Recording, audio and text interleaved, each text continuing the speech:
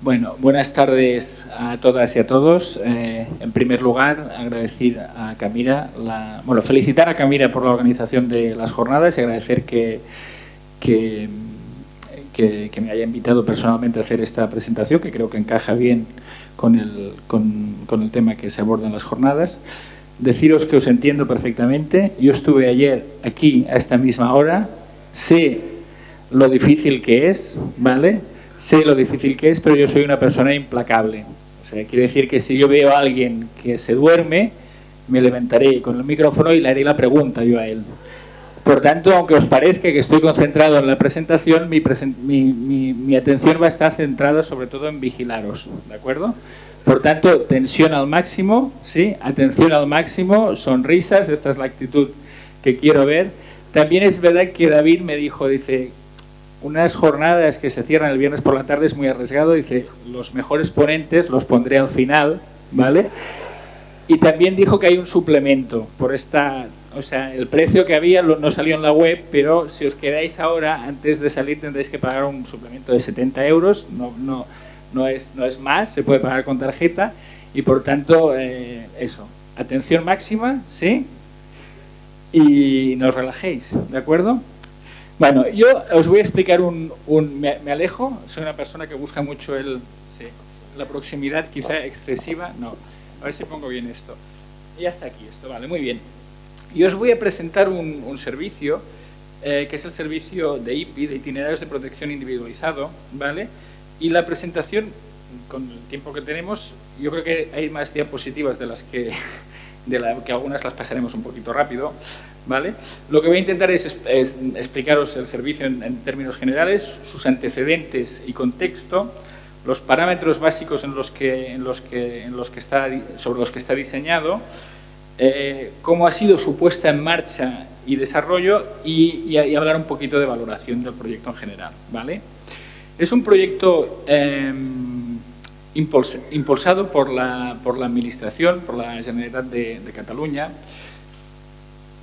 Dejadme que haga un, pequeño antecedente. El, yo, eh, mi tema era hablar de eh, dispositivos de transición a la vida adulta. Quiero hacer un paréntesis breve en el, sentido de decir que en Cataluña todo el tema de la transición a la vida adulta ha sido un tema que la Administración ha liderado y le ha dado importancia desde hace eh, muchos años. En ese sentido había el antiguo Plan Interdepartamental, ¿vale? que agrupaba las ayudas para los jóvenes tutelados, que luego se transformó en el área de soporte al joven tutelar y tutelar, y por tanto en Cataluña hay una cultura ¿vale? de apoyo a la, desinstitucionalización a partir de la mayoría de edad con una larga trayectoria. En ese sentido, nuestra fundación... Eh, mm, que no he hablado de ella, bueno, desde el Grupo Plataforma Educativa, dentro del Grupo Plataforma, la, Fundación Resilis, que trabajamos en el tema de protección desde hace más de 20 años, fuimos también de las primeras entidades catalanas que nos implicamos en el desarrollo de proyectos de apoyo a, los procesos de desinstitucionalización. Por, por tanto, yo os, vendría a decir que en Cataluña, eh, en general, creo que como buena práctica, ha habido una preocupación por esta cuestión y ha habido una atención hacia esta cuestión, ¿vale? De forma, de forma histórica.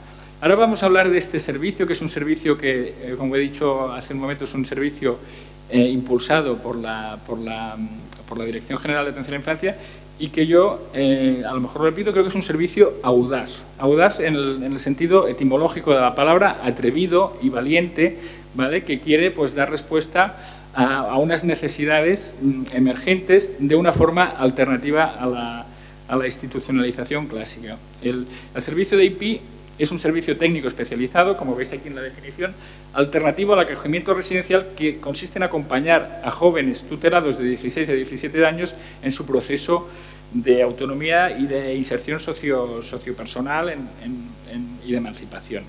Yo creo que la, clave, una de las claves, y por tanto en este servicio, lo que las tres, las tres cosas que se garantizan es, hay una guarda, porque estamos hablando de menores de edad, y aún en día, aunque la fórmula de emancipación, Miquel, te estoy... No, eh, primer aviso, no, eh, no, no, el, el el, no, la, la, guarda es una fórmula, una fórmula, o sea, la emancipación es posible, ¿vale? Pero la guarda continúa siendo la... O sea, se pueden emancipar niños menores de edad, pero hay guarda. En este servicio se atiende a niños de 16 y 17 años en los que hay guarda.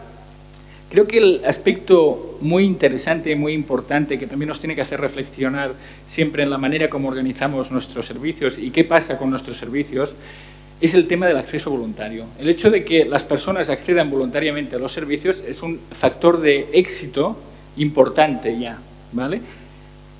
Es verdad que este acceso voluntario, estos niños están tutelados y seguramente esa tutela a lo mejor no la querían no o, no la, o no están cómodos en esa tutela o sí, pero en todo caso están accediendo voluntariamente al servicio. Y este es un tema que no es un tema nada menor, ¿vale? No es un tema nada menor para que, para que le demos vueltas a, cómo llegan las personas a nuestros servicios y qué punto de voluntariedad tienen. Y creo que si a esto le diésemos vueltas y, hiciésemos trabajo para, para, para, conseguir la autorización de la persona, ¿no? la voluntariedad, muchas cosas seguramente serían diferentes. Y en todo caso, este servicio que acompaña a los jóvenes en su, en su proceso de autonomía y de emancipación, lo que también hace es garantizar la cobertura de necesidades básicas relativas a la vivienda y la manutención. Por tanto, estamos atendiendo a jóvenes en ese camino de forma alternativa a la institucionalización, principalmente porque no hay una guarda que conviva. En el centro, en un centro, es una, una, hay una guarda que convive con, con, lo, con los niños, de, con los chicos y los adolescentes de forma permanente. Pero subrayo de esta primera diapositiva el tema del acceso voluntario, que me parece que es una cosa a la que tendremos que prestar más atención en, en general. ¿De acuerdo? Bueno, Aquí, a nivel de antecedentes y contextos, son cosas que han, que han salido hoy con las, con las diapositivas de, de Jorge esta mañana. Bueno, ya he dicho que era un proyecto piloto. Y aquí podéis ver, vamos a ver dos diapositivas en las que se ve el porcentaje de niños eh, tutelados, ¿vale? Y, y, y, vamos a observar dos cosas. Es a más edad, más población tutelada, ¿sí? Podéis ver, podéis ver la, la franja de edad como a partir de 15, 16, de 12 a 14. Y la otra diapositiva interesante, que está en el, en la, en el, en el génesis de, a la hora de pensar el proyecto, las necesidades de la población, sería a mayor edad más acogimiento residencial. Si podéis ver un poquito, eh, veis que contra más pequeñitos los, los, los niños, el, el acogimiento en instituciones es menor. ¿Vale? Y, hay a, alternativas, como tienen, eh, afortunadamente, como el acogimiento en familia extensa y el acogimiento en familia um, ajena.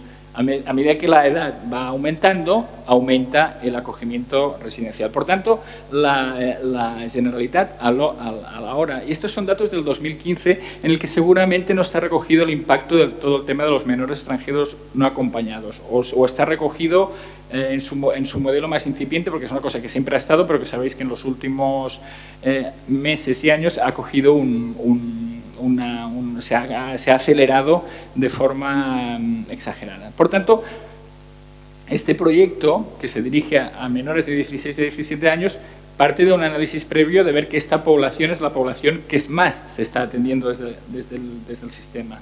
¿De acuerdo? Vale. Eh, a nivel de antecedentes y contexto, me gusta, yo ayer hice alguna intervención en relación al tema de las leyes, es que las cosas, las, iniciativas eh, públicas tienen que tener un marco legal que las ampare, aunque sean pruebas piloto, tienen que estar desde un marco, tienen, que moverse desde un marco legal. Y en ese sentido, el marco legal que da cobertura a este proyecto, en el que se puede, ¿no? se puede poner ahí, ¿no? es, decir, desde, es la ley eh, 14-2010 recoge, recoge de, diferentes medidas de protección y entre las medidas de protección que recoge, como veis en la EFI, que está marcada en negrita, una de ellas es las medidas de transición a la vida adulta. Como la, o sea, hay el acogimiento familiar, el acogimiento familiar permanente, el acogimiento residencial, el acogimiento pre, preadoptivo. Veis que la G deja un, un, un, abanico abierto a otras medidas que pueda asumir la, la administración si las, si las considerase necesarias, pero entonces, en todo caso, las medidas de transición a la vida adulta y a la autonomía personal están contempladas como una de las medidas que, eh, que se pueden coger para, para proteger, a, que se pueden adoptar, perdón, para adoptar a, para proteger a un, a un menor de edad. Vale, dentro de esta, de esta, de esta, de estas medidas, después detalla el artículo 146 qué, qué, puede, qué, qué tipo de, de, de, actividades se pueden, ¿no? qué tipo de servicios se pueden ofrecer a, bajo este paraguas. ¿no? Por tanto, está hablando de dos cosas. habla del acompañamiento en la, en la inserción sociolaboral y de vivienda para garantizar una preparación progresiva para la independencia personal, de acuerdo con las necesidades formativas y de integración social. Lo, creo, lo que creo que es importante es que el segundo punto especifica que estas medidas pueden acordarse fundamentalmente respecto de adolescentes mayores de 16 años. Indica la edad. ¿Sí? Esto es importante porque al final las medidas de transición a la vida adulta podrían aplicarse, yo que sé, solo a partir de los 18 años, pero se recoge en la ley que se pueden aplicar a partir de los, de los 16 años. Por tanto, tenemos un, marco legal que da amparo a esta, a esta, a esta iniciativa. Otro aspecto interesante, ya iremos un poco situando el proyecto, este proyecto se inició en julio del año pasado, ¿sí? Y se inició, eh, ahora voy a hacer otro paréntesis, cuando David me pidió que viniese a, presentar este proyecto, nosotros es un proyecto que ganamos el año pasado, ¿vale? Por un procedimiento de urgencia de concurso eh, en, el año pasado, antes de la situación un poquito de crisis que había y que el servicio se piensa también como una medida alternativa para dar respuesta alternativa al fenómeno de los menores extranjeros acompañados. Una de las fórmulas que se piensa que puede ser útil. ¿vale? Entonces se hace un procedimiento de urgencia y, eh, nosotros concursamos, pero en septiembre de este año este servicio eh, salió a concurso y podrías, cuando yo acepté la, venir a hacer la presentación, se podría haber dado la situación de que yo estuviera presentado un proyecto que ya no llevamos. Afortunadamente hemos ganado, dado el concurso y estoy aquí presentando un proyecto que todavía estamos ejecutando. Aún así, la presentación tendría sentido porque tenemos datos hasta octubre de 2017, ¿vale? En la puesta en marcha, a nivel de antecedentes y contextos, os he hablado de la ley, en, en la puesta en marcha la Generalitat hace una cosa que también me parece interesante, que es intentar hacer un análisis de la situación con profesionales. Y, hace, y convoca a un grupo de profesionales y un grupo de expertos y hacen un análisis modal de fallos y efectos respecto a la propuesta. O sea, se convoca a profesionales expertos en el ámbito y se dice, tenemos ganas de hacer esto, tenemos ganas de hacer un servicio de acompañamiento a jóvenes que no implica no sé qué. Y a partir de aquí, los profesionales, desde su saber y desde su quehacer, pues plantean dudas, interrogantes, riesgos y se hace un documento en, relación a este tema. ¿vale? De ese, de, ese, de ese análisis, de alguna manera, salen las bases del, del, primer concurso que, que, saldrá. Esta diapositiva que está aquí no la modifiqué expresamente porque es la, la población que, que, la, que, se planteó en el primer concurso a la cual se dirigía este proyecto. Esto ha cambiado un poco porque hay uno, me, me, me pararé expresamente porque es una cosa que ha estado presente en el, en el desarrollo del proyecto, porque se habla de, tres tipos de, jóvenes, ¿no? Jóvenes tutelados que quieran ser, que, están, que, quieren ser protegidos y quieren hacer un itinerario individualizado en, los parámetros que se define el proyecto, de acompañamiento en un piso, un educador pues, haciendo un seguimiento, que tienen, hay jóvenes que de alguna manera quieren dedicarse a eso. El segundo perfil sería estos mismos jóvenes pero centrándonos en los menores extranjeros no acompañados, porque es una realidad existente, que sabemos que son jóvenes que presentan niveles de autonomía altos en su país y que vienen aquí con unos objetivos claros de inserción socioeconómica y que por tanto ellos, en el proyecto, lo que se les ofrece, les parece que encaja bien con ellos. Y el último, y este ha sido un, elemento que ha generado distorsiones en, la puesta, en la puesta en marcha del proyecto, jóvenes, no sé si en, castellano creo que sería la manera, jóvenes refractarios al sistema. ¿Sí? jóvenes que están en el sistema de protección y que están, em, que están provocando incidencias, no se adaptan, se fugan, no están bien en, son reflectarios a las normativas, a aquello que se les exige desde el marco institucional y que de alguna manera mm, se piensa que ofreciendo otro marco de relación desde la voluntariedad, desde planteamientos normativos más flexibles, van a poder encajar y se les va a poder encauzar. Este colectivo de jóvenes nos ha dado problemas. Nos ha dado problemas en la enunciación, tal como estaba planteada, que está planteada en estos términos que están aquí, y ya lo hablaremos eh, a lo largo de la presentación, ha provocado alguna distorsión en el sentido que se han, han, derivado un determinado tipo de perfil que no funcionaba. Porque hay una parte de ese enunciado que tiene interés, que tiene interés en, el, esto, que hemos, esto que ha salido a lo largo de estos días, de, cómo las personas se tienen que adaptar a las instituciones y no las instituciones a las personas. ¿no? Allí hubo una, diapositiva que a mí me gusta, que ayer vi una, una, en una de las diapositivas, hay cosas que las, que las instituciones necesitan para funcionar, pero las personas no.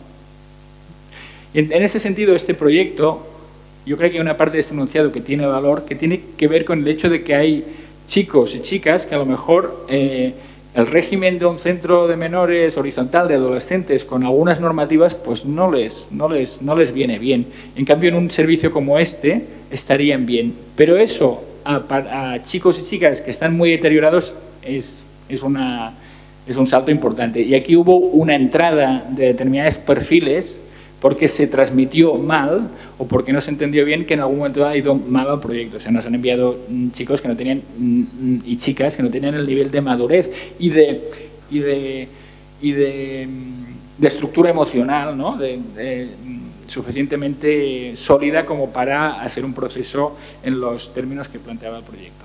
Y, pero lo he querido dejar porque ahora en el último pliego de, cláusulas no, se especificaba de la manera que se especificó aquí, pero me ha gustado dejarlo para explicar un poquito lo que ha sido este año y medio del servicio. ¿Sí? Vamos para allá.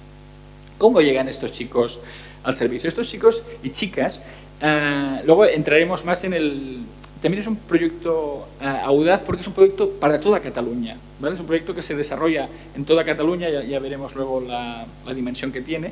Pero en todo caso, los chicos y chicas que, vienen al, que acceden a este proyecto tiene que haber una propuesta técnica. Eh, y eso es importante, ¿vale? Una propuesta técnica por los equipos técnicos competentes que son conocedores del servicio y que tienen que hacer una propuesta de, plaza ¿no? Eh, a este servicio los chicos, y aquí creo que es un dato importante, tiene que haber una voluntariedad informada del joven, en la que éste conozca bien, se le traspase bien en qué consiste el servicio y que haya una aceptación del marco normativo y, compromiso en su implicación en su plan de trabajo individual, en su plan de autonomía individual. Importantísimo. Vale, ahora aquí os explico los, los parámetros básicos del proyecto. El servicio IPI se implanta en todo el territorio de Cataluña en julio de 2016 y en la actualidad y desde el 15 de noviembre ofrece 160 plazas. Esto es, mentira, ¿no? O sea, no es el 15 de noviembre porque sabéis que hemos tenido, eh, tenemos, está la consellera en prisión y con el tema del artículo 155, la, la firma del, del, contrato mm, que ya se había ganado, pues ha estado ahí dando vueltas hasta que al final, esta semana, pues ya hay alguien que firma. No sé si es el secretario general o o la Sáenz de Santa María, alguien firma y entonces se puede, no, se puede aplicar porque estaba eso parado. Y nosotros, cuando yo hablé con la, con la directora del servicio, la idea era que el 15 de noviembre se ampliaba a 160 plazas. Esta, esta ampliación no se ha hecho real. Lo que sí os quiero explicar es que el, servicio, porque también en la historia de cómo ha ido este primer año, el servicio se abre con 40 plazas y en octubre del año pasado nos hacen ampliar a 80. ¿Vale? Porque hay una duplicarlo en, ¿vale? El servicio se presta de forma ininterrumpida las 24 horas del día. Los alojamientos donde los chicos, los chicos pueden estar en unidades de convivencia, que ya hablaremos cómo se organizan, en máximo de tres adolescentes. La ratio de adolescentes por educador es de un, eh, un educador por cada ocho chicos chicas, ¿vale? Y hay un director del servicio y y esto es una novedad cuando el, cuando el, cuando el servicio, esto es una novedad de la, de la, ampliación de ahora. Ahora hay cuatro responsables territoriales que asumen guardas, porque hasta ahora teníamos una directora, que era la directora de todo el servicio y asumía las 80 guardas. Que esto tiene, se dice rápido, ¿vale? Y también se ha incorporado que en el, en el, en el pliego de cláusulas... Eh, inicial el, psicólogo estructural por territorio, un psicólogo por territorio. Por tanto, es un servicio que se presta en toda Cataluña con estas dimensiones. Empezó con 40, en octubre a 80 y ahora pues está en, en, proceso de ampliarse a 160 plazas.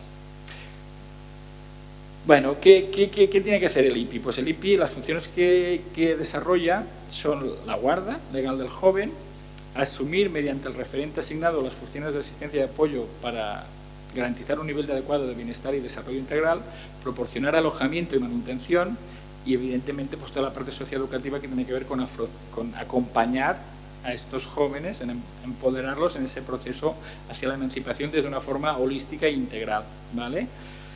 Y eso pues se, traduce en un plan de, de, de, autonomía individualizado que hay que ir pues acompañándolo y viendo cómo, avanza y cómo construimos ese plan de autonomía. Hemos dicho que era un servicio voluntario, pues voluntario y, y, y el compromiso ¿no? de esos objetivos. Esto también se ha hablado varios de los ponentes, los objetivos que ellos ¿no? se plantean y que se comprometen a hacer hacia ese objetivo. Vale, eh, una cosa innovadora también de este proyecto, estáis viendo que aquí salen los... Es un, es un servicio que desarrolla una UTE, que, es una fórmula, que fue una fórmula nueva para nosotros como, como, como organización. Una UTE que hacemos con la Fundación Merced Fontanillas y la Fundación Resilis.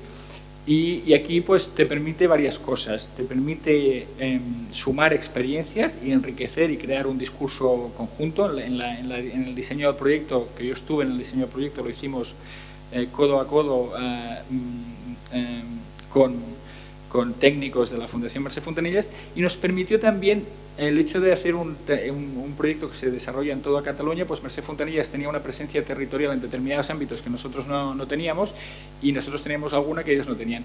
Merced Fontanillas es una entidad también que como nosotros lleva mucho tiempo en el, en el, en el trabajando con, en el sistema de protección y ellos tenían una larga experiencia eh, de acompañamiento a menores extranjeros no acompañados. Nosotros teníamos también larga experiencia, sobre todo a nivel de centro de acogida, pero ellos tenían mucha experiencia en un servicio especializado que se creó en la primera ola migratoria de, que hubo hace unos 10 años. Ellos tenían un servicio que se llama Servicio de Atención Especializada Joven Tutelado y Extutelado, que era un servicio muy especializado en acompañar a, a menores eh, de, de, la zona de, de Marruecos, tenían educadores árabes, nosotros también, pero ellos tenían mucha experiencia en ese sentido y nos daba cobertura territorial para todo el territorio y eh, la experiencia de compartir alianzas, de compartir conocimiento y construir conocimiento de forma conjunta es una experiencia muy bonita y recomendable si encuentras un partener con el que, con el que estés bien.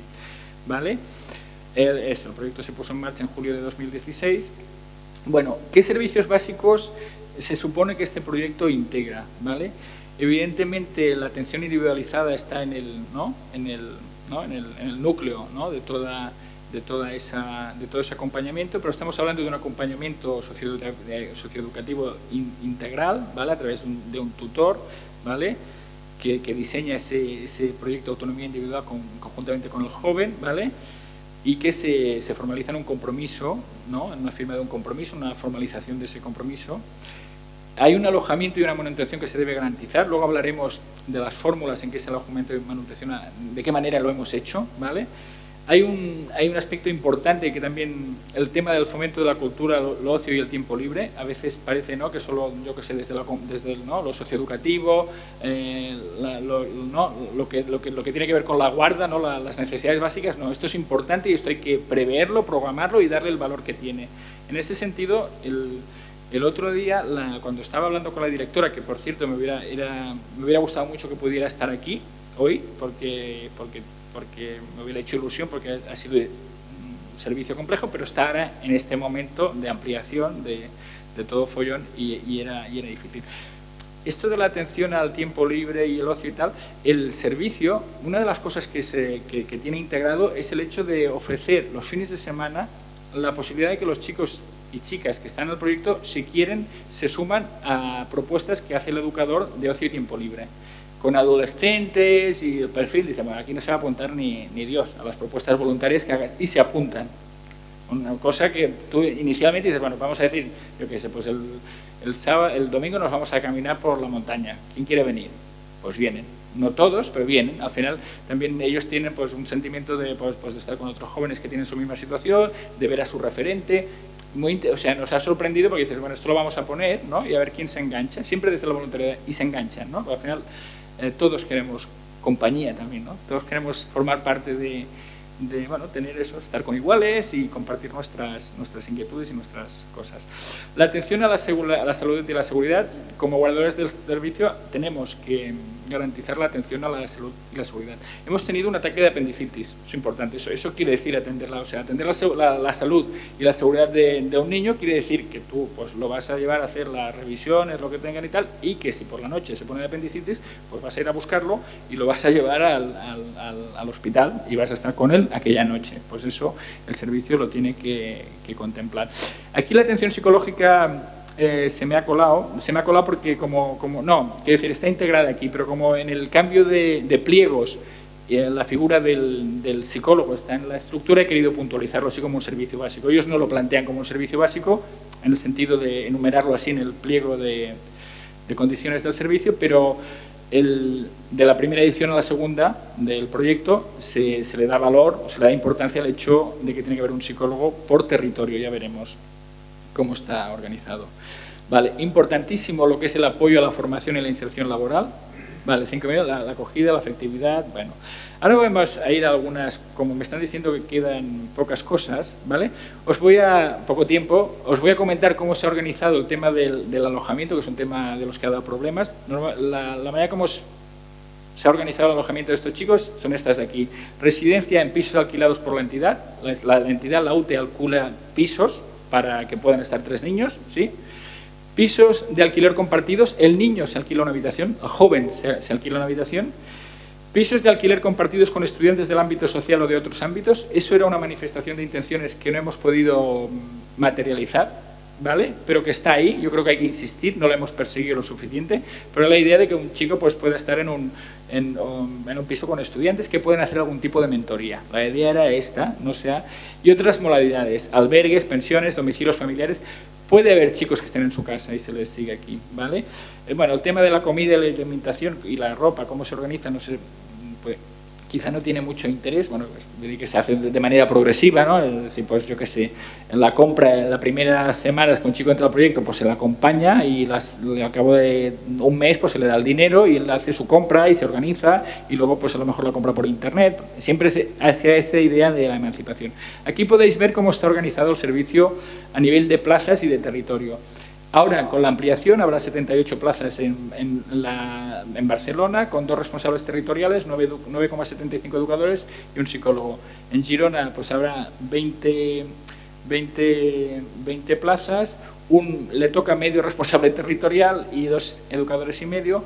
Tarragona y Terras de Libre, que funciona como dos unidades eh, separadas a nivel de, hay de educadores, pero como responsable territorial como psicólogo funciona como una y Lérida, ¿vale?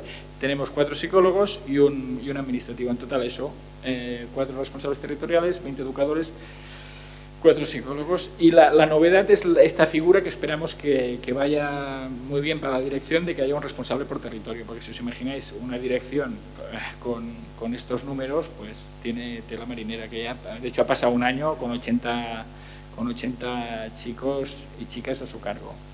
¿Vale? Me gustaría ver un poquito los datos para que veáis lo que, lo que ha pasado en este año, a 31 de octubre. Se han propuesto prácticamente 300 casos, se han aceptado 207 y se han denegado 92. ¿Vale? Y se han quedado en lista de espera 8. De los, de los 200 casos aceptados, 135 venían de centro de acogida, eh, 28 de CRAE, 33 de Haya y otros 9. Chicos y chicas, podéis ver aquí la distribución territorial de, por, territorios, veis como evidentemente Barcelona tiene más peso demográfico y pues eh, llegan más chicos, ¿vale? Una cosa interesante, porque cuando el proyecto se plantea parece que va a ser todo menores extranjeros no acompañados, ¿no? Y, fijaos que chicos de, españoles hay un 34% y o sea, es un tanto por ciento importante. ¿eh? Yo pensaba que sería mucho menor, un 41% son de Marruecos y el resto son de otras eh, nacionalidades. No hay ninguna nacionalidad especialmente, bueno, pakistaníes quizá, la que después de, de Marruecos. ¿vale? La vivienda, fijaos que la principal fórmula ha sido el alquiler de la entidad, ¿vale? el piso compartido 7, la pensión 6 y el domicilio familiar 14 casos. ¿vale? Bueno, todos los, los, recursos a los que han ido uh, accediendo, ¿sí? Los veis aquí. Interesante también el tema de las bajas, ¿vale? Uno de los bueno, de las bajas ha sido el, uno de los casos ha sido uno de los servicios donde se han derivado ha sido el SAEG, este servicio que os he dicho yo que era especializado, a pisos asistidos 9, a programas del área de soporte al jove tutelat y extutelat 27 con prestación, eso quiere decir que ya tiene una ayuda económica, y sin prestación 21, quiere decir que se está tramitando. ¿sí? Están ahí en esos programas, pero no tienen la ayuda económica. Cambio de medida es eh, fracaso, vamos a decirlo claro. Fracaso, o sea, quiere decir, chicos que se, les, se han, teni han, tenido que volver al centro de acogida. chicos, por lo que os explicaba antes, de estos perfiles que en algún momento dado no, no de esto. Mira, mira, me gustan las encuestas de satisfacción, verlas, interesantes. El, azul es bueno y el excelente es verde. Estamos bien, ¿no? Los chicos han valorado en general el servicio en sus diferentes ítems que podéis ver aquí, pues bastante bien. Y es una cosa que se han hecho encuestas 84, que deben, no sé por qué son 84, deben ser los que han salido, los que han hecho la encuesta, ¿vale? Pero la valoración que hacen los chicos y chicas del servicio es buena y a veces excelente. Muy pocos hacen regular y malo en muy pocos casos, ¿eh? de los diferentes ítems que estáis leyendo aquí, que no voy a repasar.